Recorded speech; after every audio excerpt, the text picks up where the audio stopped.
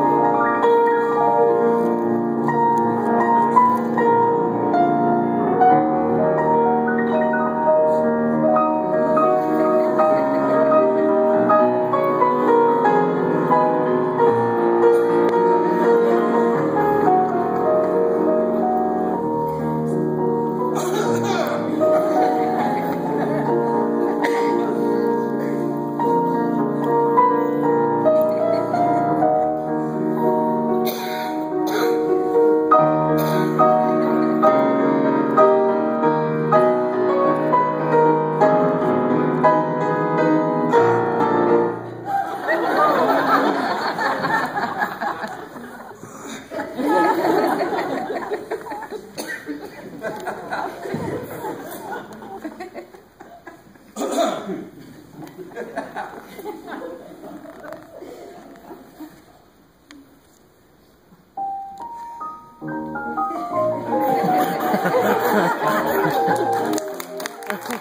ha.